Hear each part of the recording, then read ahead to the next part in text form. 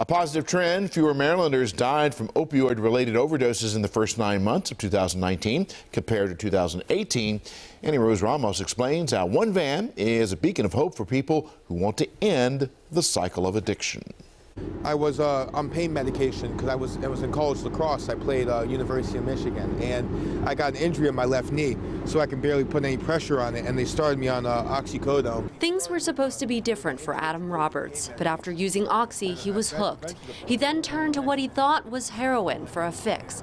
Only it wasn't heroin; it was fentanyl. Did you know you were taking fentanyl? I thought it was just pure heroin. I didn't know it was fentanyl. Yeah. I had no idea.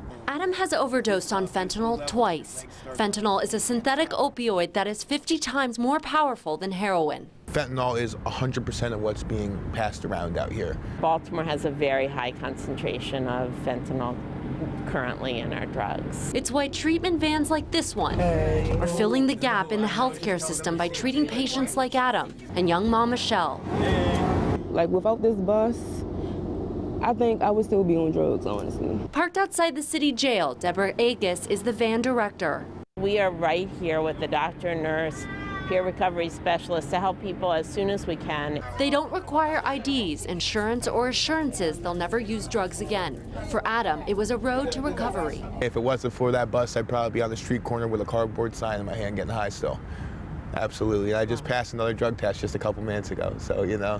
One of the most important things about this van is that it can be parked just steps away from the jail where there's little to no access to medication for those suffering from drug addiction. I'm Annie Rose Ramos for WJZ.